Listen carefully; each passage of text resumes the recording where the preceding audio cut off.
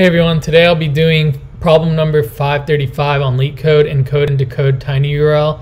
So the description might be confusing for some people, but basically tinyURL is some service where if we go over here, you'll get like um, some URL that's like tinyurl.com and then some gibberish. And then this will resolve to whatever URL you want. So the user provides this. It could resolve to Google, could resolve to anything. And basically, so you encode it, so you give it Google, and the output is some hash code like that. And then when you do this and you decode it by typing it into the browser, it resolves back into google.com. So basically, we want some way where we have some unique uh, ID generation for a URL that's passed. So they're going to pass the long URL, we encode it, and then we spit out that encoded string and then when they give us that encoded string, we need to resolve it back into the original URL. So there's a lot of ways that we can do this, but what I'm actually going to do is let's go ahead and let's originally just have some array list.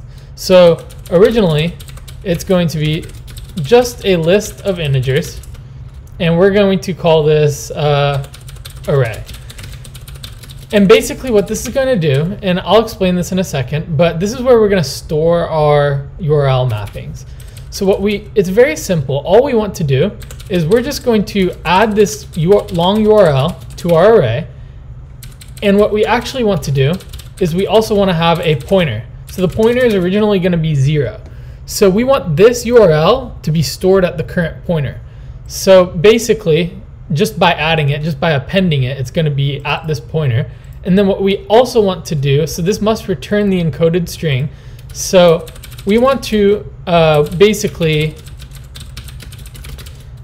return the string of the pointer and then also increment that pointer so that the next one that gets added will be for pointer one and then the next one two, the next one three. So we're gonna return pointer, which at this point is zero and then increment it.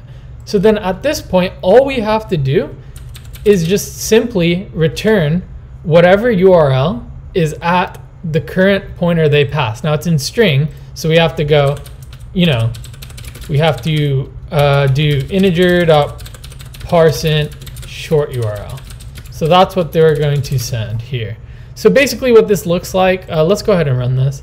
Um, sorry, and this has to be an int. Let's go ahead and run this. And so, and we want this to be a list of string. Let's go ahead and run this. And then let's submit it. And this is going to work, but basically, so what this would look like as a real service is when this is encoded, it would be like tinyurl.com slash zero. And then it would be tinyurl.com slash one. So that's what we're going for here. Just very simple. I just wanted to show my way of doing it. And there's a lot of other ways. You can map these to some randomly generated string like tinyurl does. So like some hash code, but it's however you want to do it. So yeah, I hope you guys enjoyed. I just wanted to go over this really quickly. Thank you for watching.